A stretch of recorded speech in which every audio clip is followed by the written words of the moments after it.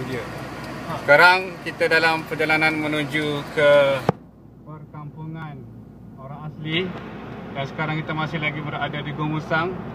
Perjalanan sedikit tertunda kerana sebuah kereta telah pun rosak.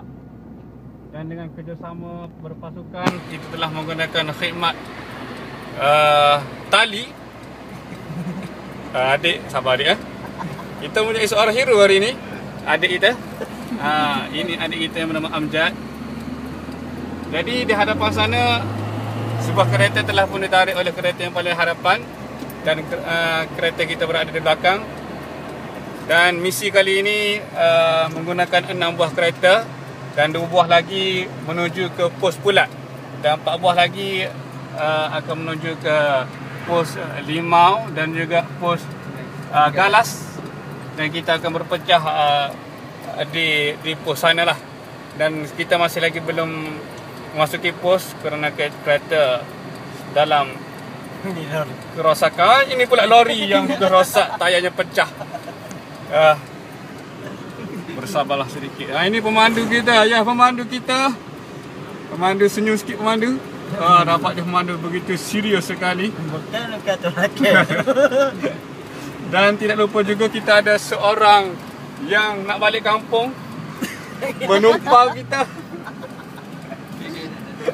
Boleh bagi ucapan saudara? Uh, saya harap perjalanan kita ni sentiasa uh, dalam penghadaan lah. Semoga selamat lah sampai destinasi kita. InsyaAllah.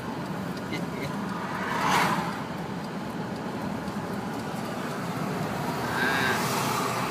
Oh, kereta meremotong kita kerana sudah tidak sabar. Tak nak balik. tak nak balik kampung. Ayo. Sebuah roti di sini tidak ada kena-mengena. Ini hanya sekadar hiasan semata-mata. Inilah yang dinamakan sebagai perjuangan. Puasa tidak menghalang kita untuk memberi khidmat kepada orang lain. Dan kita dalam satu program Ihya Ramadan untuk uh, berbuka puasa dan berterawih bersama dengan orang-orang asli yang berada di perkampungan pedalaman. Dan kita berdoa agar Allah uh, sentiasa bersama kita uh, menjaga kita memberi keselamatan dalam setiap perjalanan kita dan memberikan kepada kita kekuatan dalam keadaan kita berpuasa. Kita masih lagi bekerja. Terima kasih